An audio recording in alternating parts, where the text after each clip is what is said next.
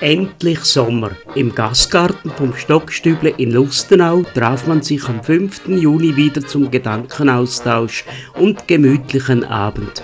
Aus Fonsdorf mit dabei Karl Neumeier. Er überbrachte Neuigkeiten aus der Obersteiermark. Musikalische Einlagen gab es von Günther Walter und Toni. Dazu wurden die mitgebrachten Gebäcke von Margot und Gerlinde verzehrt. Apfelstrudel und Rhabarberkuchen.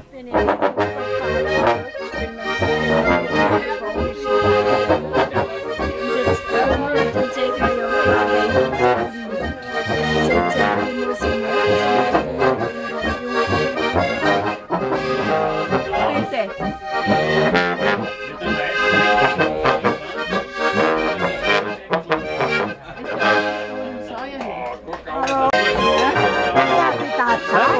Sure.